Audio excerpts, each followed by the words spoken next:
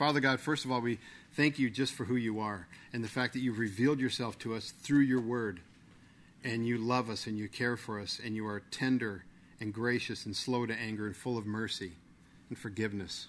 Secondly, Lord, we lift up this uh, mission trip to Liberia that you would go before them, prepare the, the places they're going to go, the hearts of the people they'll be touching. We pray, Lord, for financial provision, for safety, and most of all, that they would be an effective and uh, fervently working hard team when they get there.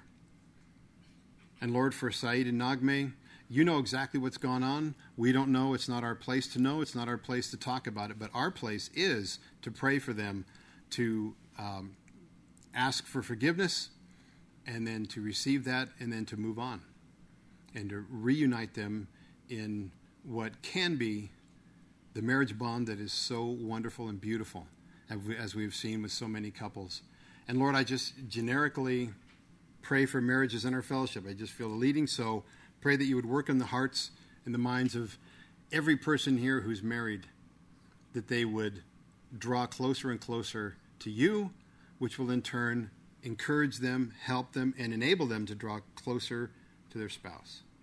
Now, Lord, we're going to look to your word and see what you have for us from that today fantastic book, especially the book of Romans we've been looking at. And I pray you give us clear understanding into what you had Paul write so many years ago. In Jesus' name, amen. Okay, so we're going to be in the book of Romans in chapter 7 today. Now, I want to ask you have you ever been watching a movie and maybe you think you have the plot figured out only to watch the rest of the movie and find out you're wrong? Does that ever happen to you where they, they twist the plot? Now, there are two, two ways to look at that. You can be mad, or you can say, aha, clever guy. I kind of like that. That's I didn't expect that. Or, you know, there are times when I'll think differently than everybody else in the room. Maybe we'll pause it and have a quick discussion, and they're like, why did you pause it? Just play. So I want to talk about this. Anyway, strangeness of my house. You don't want to live there. But anyway, so. anyway, oh my goodness. If you're visiting, apologize. Anyway, so. Um, but there are times when I, I think it'll go one way and everybody else thinks it goes another and it goes the way I thought it was going to go. And I'm like, yeah, I figured it out. So, anyway, the whole point is it's kind of sneaky sometimes. Or maybe you've read a book, a mystery or a, a novel somebody wrote or something, and you think you have it figured out, and then you get to the end and you go, wow, I did not expect that. Or maybe even this something as simple as somebody tells you a joke. And the punchline is different than you expected, and it catches you off guard, and you really laugh because the unexpected twist is funnier than you imagined. Well, that's the whole idea I'm getting at. The surprise factor is what I'm getting at. And today, our surprise involves sin and the law. In fact, I call this message today That Sneaky Law. Okay, we'll pick it up in chapter 7, verse 1. Or do you not know, brethren, for I speak to those who know the law, that the law has dominion over a man as long as he lives? For the woman who has a husband is bound by the law to her husband as long as he lives.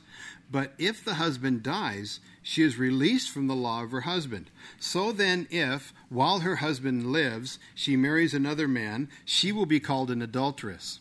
But if her husband dies, she is free from that law, so that she is no adulteress, though she has married another man. Therefore, my brethren, you also have become dead to the law through the body of Christ, that you may be married to another to him who was raised from the dead, that we should bear fruit to God. For when we were in the flesh, the sinful passions which were aroused by the law were at work in our members to bear fruit to death. But now we have been delivered from the law, having died to what we were held by, so that we should serve in the newness of the Spirit and not in the oldness of the letter. What should we say then? Is the law sin? Certainly not.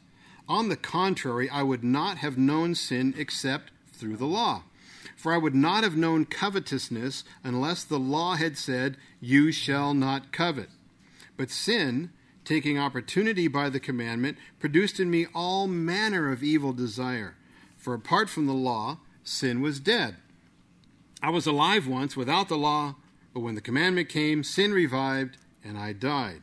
And the commandment which was to bring life I found to bring death. For sin, taken occasion by the commandment, deceived me, and by it killed me. Therefore, the law is holy, and the commandment holy and just and good. So he starts off in verse 1 Or do you not know, brethren, for I speak to those who know the law, that the law has dominion over a man as long as he lives? Now, first of all, when he says, Do you not know? In other words, you do know this, don't you? Right? Okay, you do. But what is he talking about? First of all, he's talking to the brethren. The brethren he's speaking to are Jews. Now, he's talking to the Jews. The Jews are those who know the law, because he says, I speak to those who know the law. But beware. Don't think, oh, good, I'm not Jewish. None of this applies. I can take off or take a nap. No, no, no. Most of this, pretty much all of it applies to us. You just got to run it through the filter of Gentile, Jew, God, law, sin. You'll see. But to Paul's other point, the law has dominion over a man as long as he lives. This makes sense because the law will be there whether we are alive or dead. But when we die, the law no longer applies to us. The law he's talking about, the Ten Commandments and all the books of the Old Testament that spread out and talked about all the different things in the law. But think about this just in the natural laws that we have today. How many caskets do you see in courtrooms? Probably zero. How many deceased people have been offered traffic citations? How many people who have passed away have been sentenced to jail time? How many dead people have voted? Oh, wait, I'm sorry. That one might have happened. But.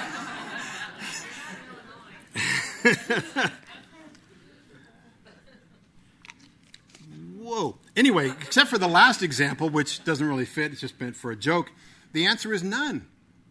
There are no caskets in courtrooms, traffic citations from people who have passed away, or deceased people have been sentenced to jail time. Once a person dies, all criminal actions involving them come to an end. I was just reading on the internet yesterday about the tragedy, the terrible thing that those two high schoolers did at Columbine High and then they committed suicide. Did they prosecute those two kids? They couldn't because they were dead.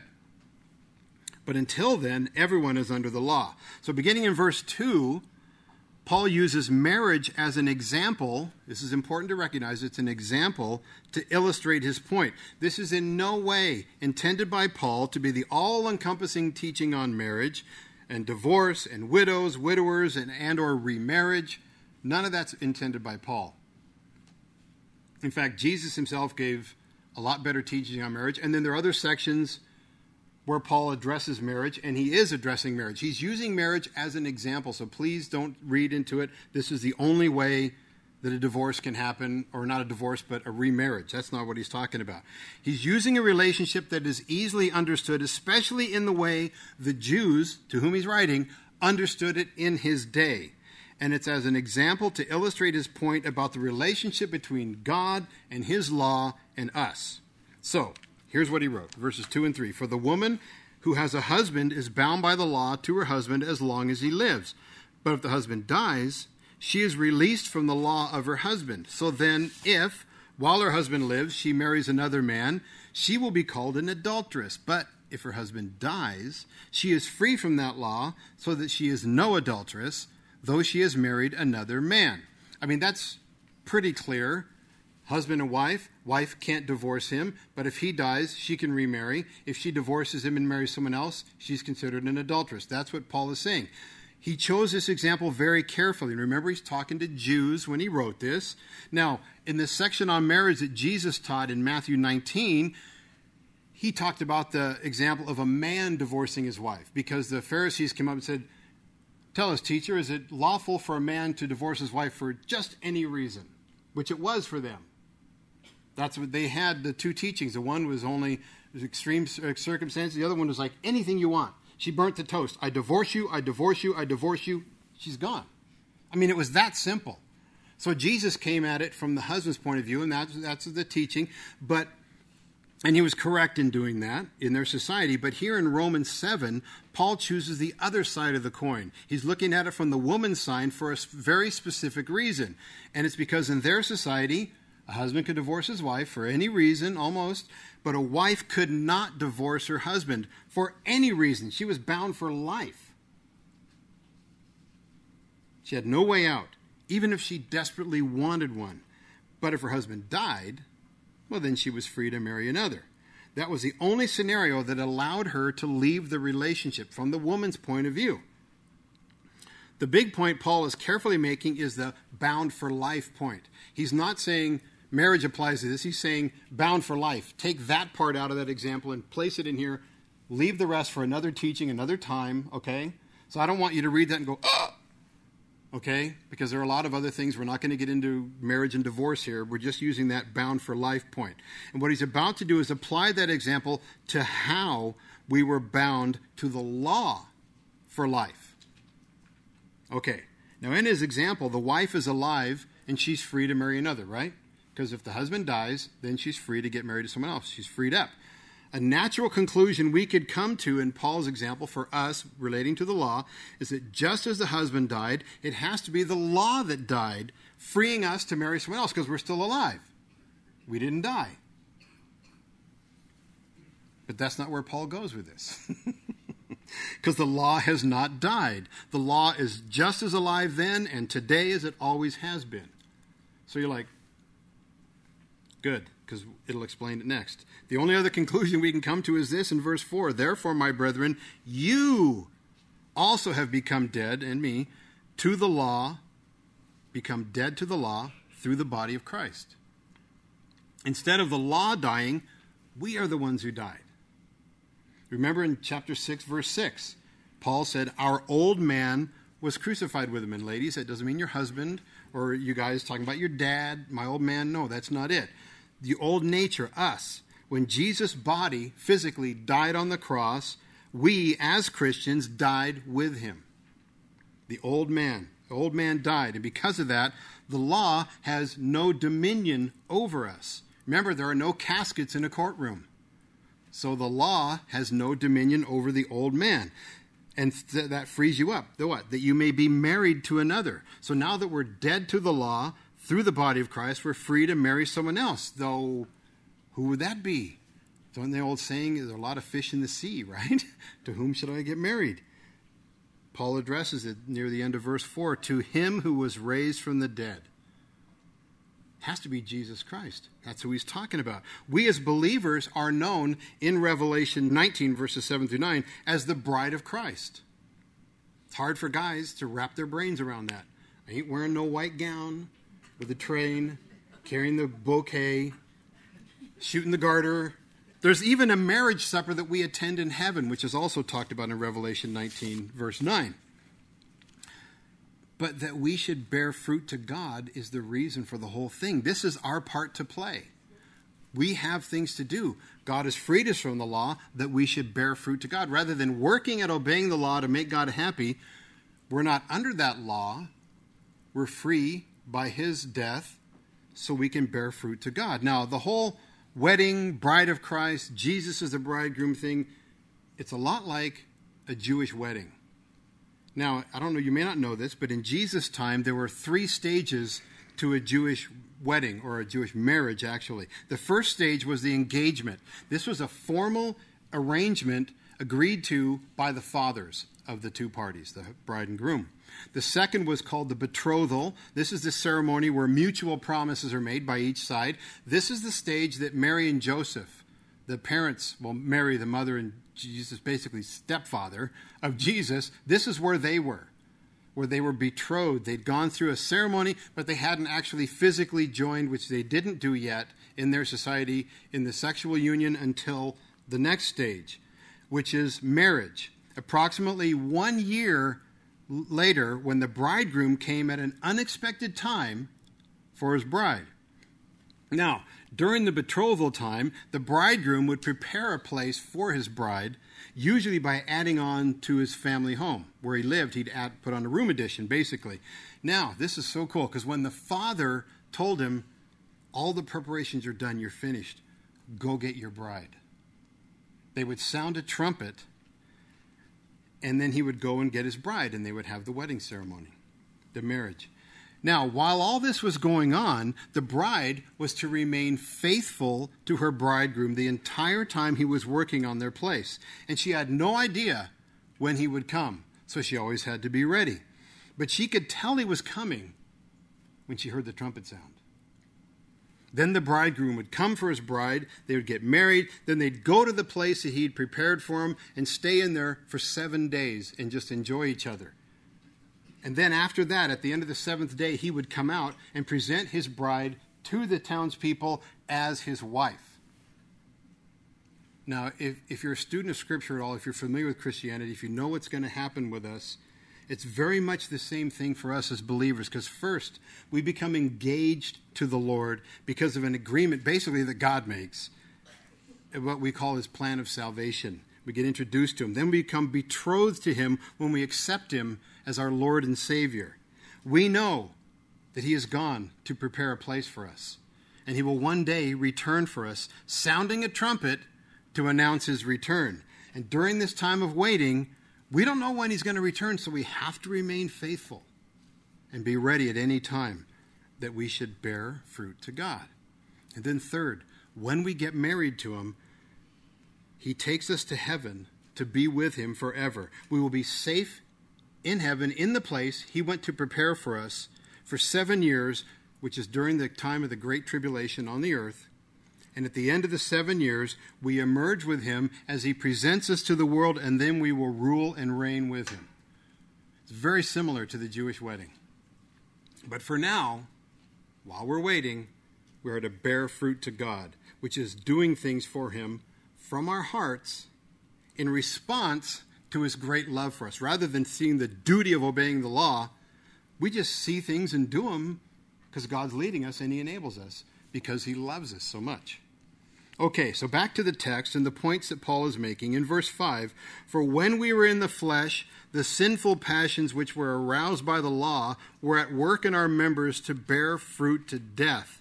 Man, that does not sound good. Paul's talking about our past, the time before we were Christians. The law was there, and in a lot of ways we were aware of it, but we didn't re- but what we didn't realize was this.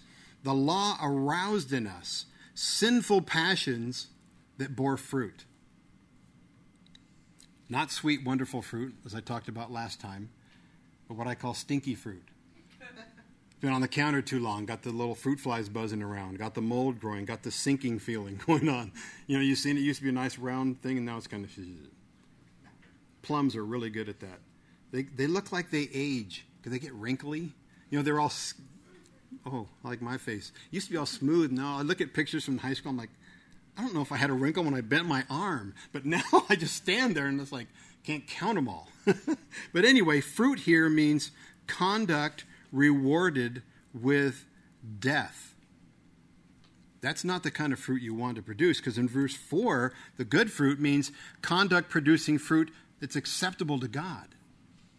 That's got to be good stuff. So in our old lives, the only conduct we had would produce death which is not only physical death, of course, sin does, but eternal death, which people don't like to talk about.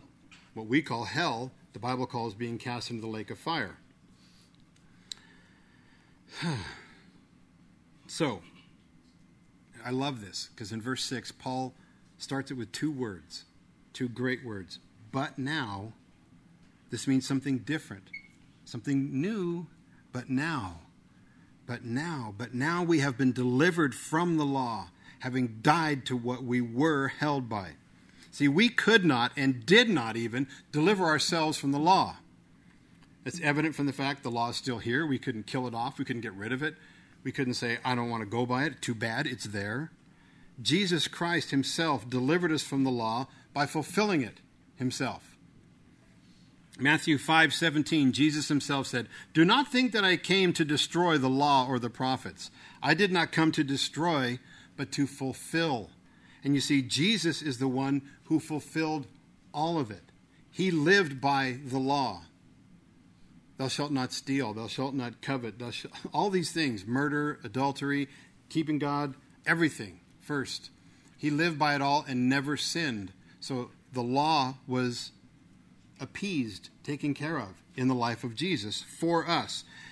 And this is true too. Our old man died with Jesus on the cross, which frees us from the law. Basically, Paul said this if we're dead, the law has no jurisdiction over us. because our old man died, the law is no longer over us, as in obeying it to make God happy. You don't have to do that. But what now? We still behave ourselves, don't we? We have to behave somehow. It's one of my favorite sayings I say to my wife when I'm acting in a manner that is inappropriate to her. She says, Behave yourself. I say, I am, just not the way you want me to behave. We're always behaving ourselves one way or another. There's stuff we do, whether it's good in other people's eyes or bad or neutral, or makes you say, Boy, I am glad I am not married to that person. Boy, I'm glad that's not my kid. Boy, I'm glad I can get in the car and drive away. Whatever. You know, or I wish they were part of my family. Whatever you see, behavior happens. We're still alive. We have to still interact with the world. But now, because we're dead to the law, we are now alive to God. And He guides us and He directs our behavior. The rest of verse 6 says, So that we should serve in the newness of the Spirit and not in the oldness of the letter, rather than trying to keep the letter of the law, which is so tiring, and by the way, it's impossible to do. We are now free in Christ to love Him and serve Him. Now, when we got saved, the Holy Spirit came into our hearts. Listen to this. Instead of trying in vain to obey rules written on stone, we are free to obey rules written on our hearts. Rather than trying to obey this in a way we think of rude, crude, mean, stone. We think written in stone is good, but if it's going to fall on you, that big two stone tablets, man, how about something written on your heart? Where does behavior really come from? Where do you think it? I mean, there are reactions and then there's behavior, of course, and you can react quickly like that, but still out of the heart. What if the law of God, the rules, the behavior, the direction, the love, the care, the mercy, the grace, the forgiveness is all written on your heart? How is that going to affect how you react? Since the behavior comes from the inside out, it's going to be redirected. You have to go away from what's that in computers? Default. The default setting is sin, the default setting is self, the default setting. You have to have that hard drive taken out and put in a new one where the default setting is love, the default setting is forgiveness, the default setting is peace and joy, and all these wonderful things that God provides us with by having it written on our hearts. It's so much better than a law that's exterior. He wants it to be interior. Now, Paul is a pretty smart guy. He knows people will still come at this from another angle, trying to condemn the law. Or they might even try to interpret what he's saying as the fact that he's condemning the law, that he's saying the law is evil. So, the first part of verse 7 what should we say then? Is the law sin? If I can steal an interpretation from Curly and the Three Stooges, certainly not. On the contrary, I would have not known sin except through the law. So here it is the essence, the reason for the law. The law is not sin, nor is it sinful, it just points out sin. Here's an example of what the law does, I think. Hopefully, this will work for you. Suppose you had in your possession a bottle of poison. If you don't have poison around your house, probably good, but if you did, what if this bottle were unmarked? So you put a label on it. There are many labels available. The one you choose is vanilla extract. And you put it in the spice cabinet. Someone comes over, makes cookies. Oh, vanilla extract. They put it in. People who eat the cookies will either get sick or get sick and die because it's poison. Now, you know what the law does? All the law does is it puts the correct label on the bottle. That's all the law does. Boom, poison. And the law calls sin, cleverly enough, sin. It doesn't call it a mistake, it doesn't call it an affair. It's adultery. Well, I kind of like the affair part better. It sounds like a lot more fun. Adultery, it sounds evil. It is! You know, I didn't steal it, I just borrowed it for the rest of my life. okay, all right. I didn't kill him. He just, his life ended when the bullet from my gun went through his head. I mean, you know what I'm saying? These people try to whitewash it. The law says sin is sin. It's, it's our hearts that are drawn away to want to disobey the law. So what do we do? It says poison, we ingest it anyway as Adam Savage's t shirt says on Mythbusters, I reject your reality and substitute my own. The reality is it's sin. We call it any number of other things. But the bottom line is, whatever you call it, it's what it is. You know, I used to, t- I used to volunteer out at the uh, uh, Maximum Security Institution, IMSI, as a pastor. I was teaching uh, what we, they started calling them devotions early twice a week, Tuesdays and Thursdays. I'd go out and, and minister between seven and eight, I think it was. But anyway, the point is this: before we even got started, I got a call from the chaplain. He says, um, "There's been a change." I thought, "Okay, what's that?" He goes, "We can't call them devotions anymore." I said, "Okay." He says, "Why don't we call them inspirations? We can't call them devotions." Because it sounds too biblical, I guess. I said, well, call it the pizza hour. I don't care, but I'm going to be reading from the Bible when I'm there. It doesn't matter what you call it, it's still the same thing I'm going to be doing. It doesn't matter what you call sin, it's still sin. Okay? So there you go. The rest of verse 7.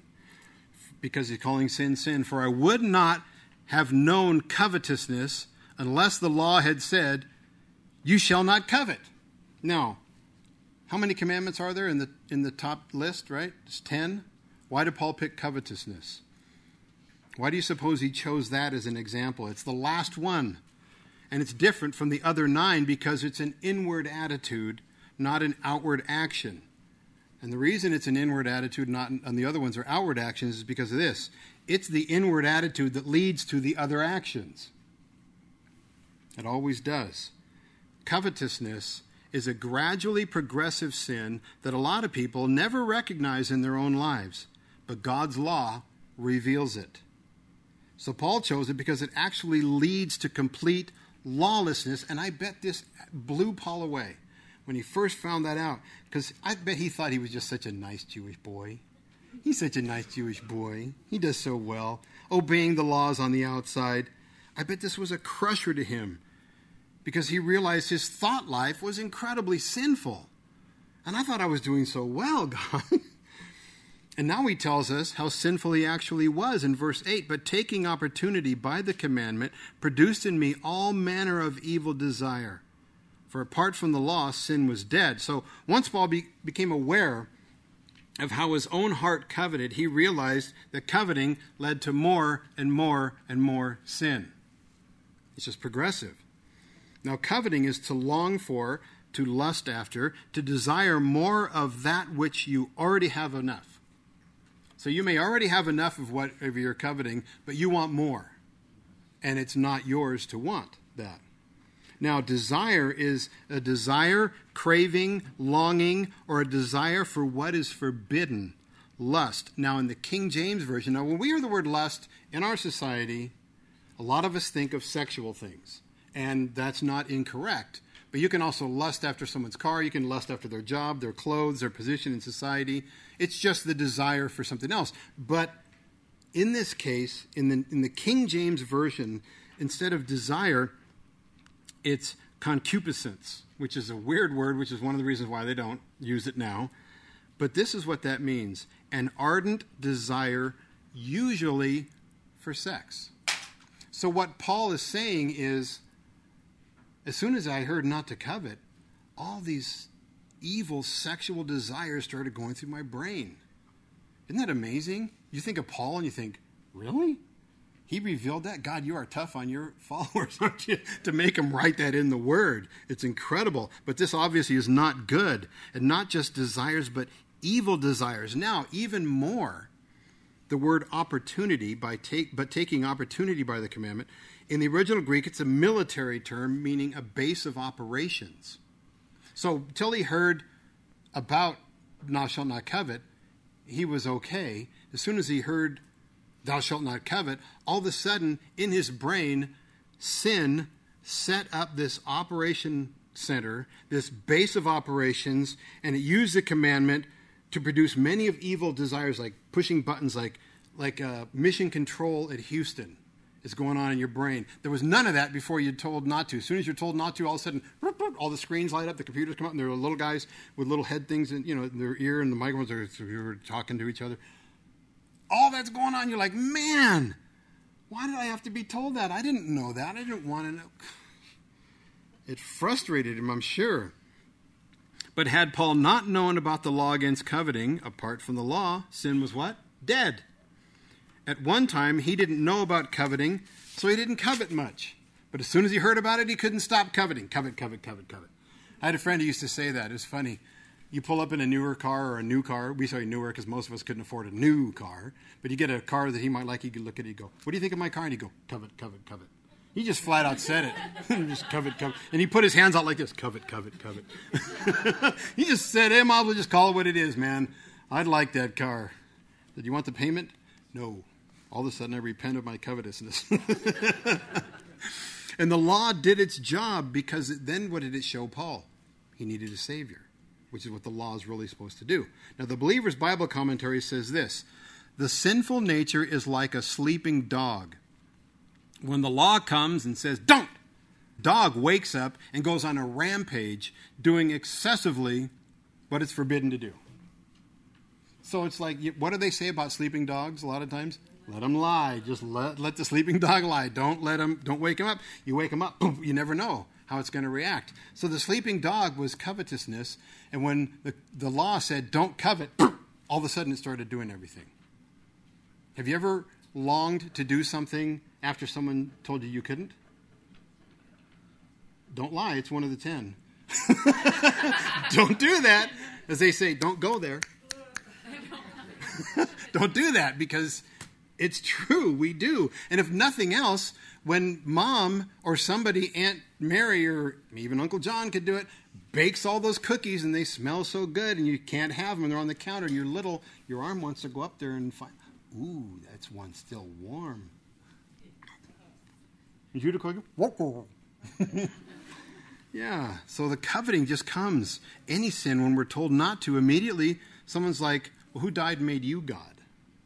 Know, try saying that to him. See how well that goes, how that go, how that works out for you, as they say. So, verse nine: I was alive once without the law. We know that in Philippians chapter 3, another book in the Bible, verses 4 through 6, Paul describes how he was a Hebrew of the Hebrews. He followed the law to the letter, he did everything right on the outside. So, in that sense, he was alive at one time, but when the commandment came, sin revived and I died. Once he heard the law, sin revived and he died. Now, Paul realized the interpretation of God's law by man was very different than God's intent was. Because Jesus covered that in the Sermon on the Mount. He says, You guys have heard that you shouldn't murder. That's good. But I tell you this if you look at somebody and hate him, you've already killed him in your heart. You've heard you shall not commit adultery. That's good. But, guys, women, if you ever look at another person and lust after them physically, you've already committed adultery in your heart. See, the problem is you can do stuff on the outside and look good and follow the letter of the law, but inside, you are dying to do that. But on the outside, you never would because, first of all, you don't want to get caught. You know it's wrong, but you can think about it because, you know, like the, like the, here's another excuse that people use I'm not going to do that, but I can window shop. I'm just looking. Well, Jesus says just looking is sinning. it doesn't it doesn't work that way.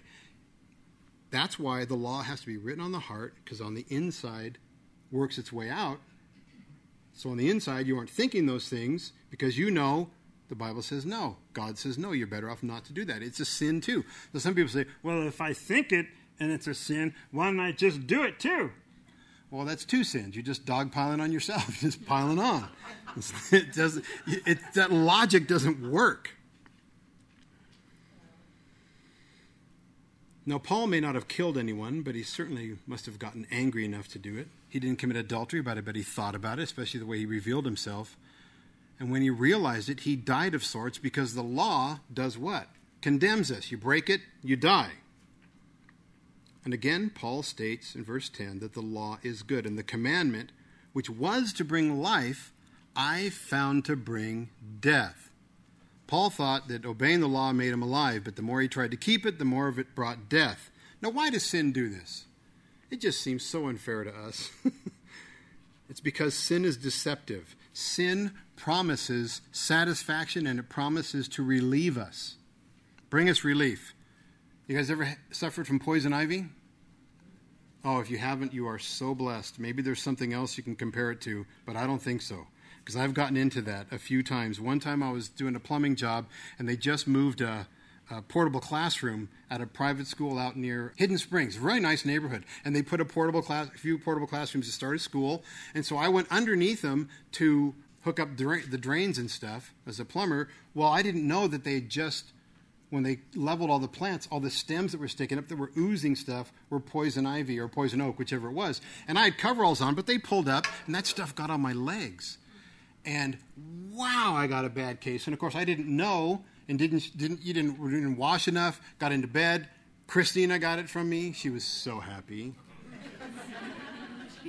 and the insurance wouldn't cover her; they just cover me. So I had to share my medication and all this. But I'll tell you the desire to scratch is strong, and you want to scratch. But when you scratch, it doesn't really relieve the itch. It only makes it worse, and the area gets damaged when you scratch it because you're trying to dig your fingernails through to the other side of your leg. You're like, stop it. And then you look down and you have these red streaks and it's bleeding. And you're like, oh, and it itches. Sin is like that it promises what it cannot deliver, and it only brings death. The more we try to obey, the worse we fail in our fight against sin. The law can only condemn us. Paul gets even clearer in verse 11 For sin, taken occasion by the commandment, in other words, it found an opportunity, it deceived me, and by it killed me. Here, once again, we see the law is not the problem. The law only points out sin.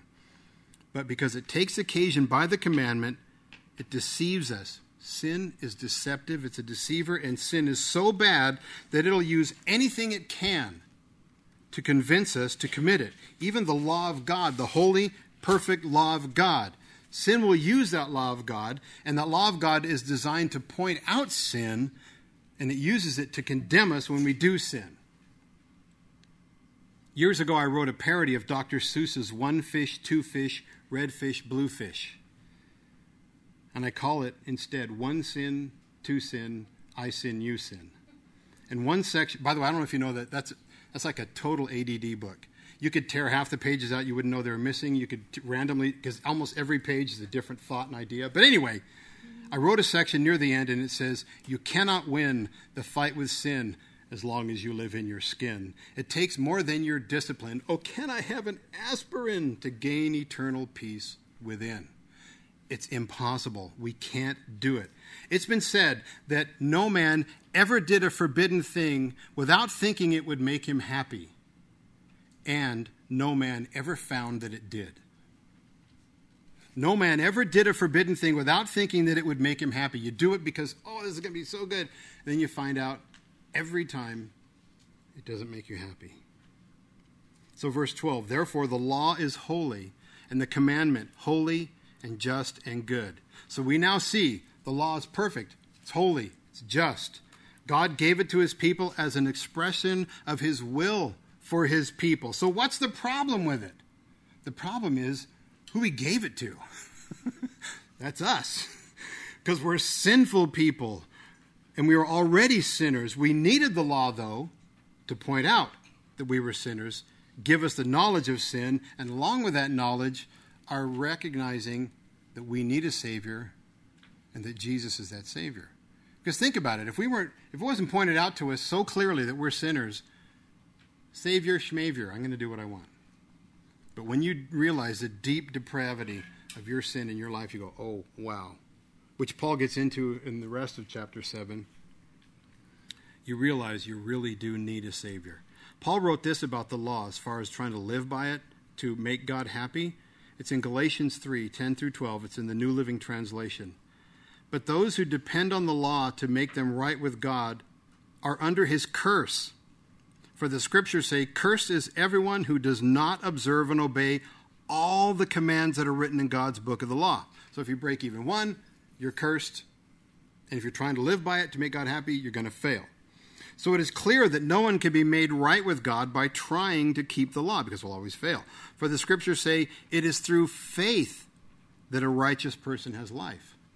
So it's the faith in God, not obeying the law to make him happy, because you can't.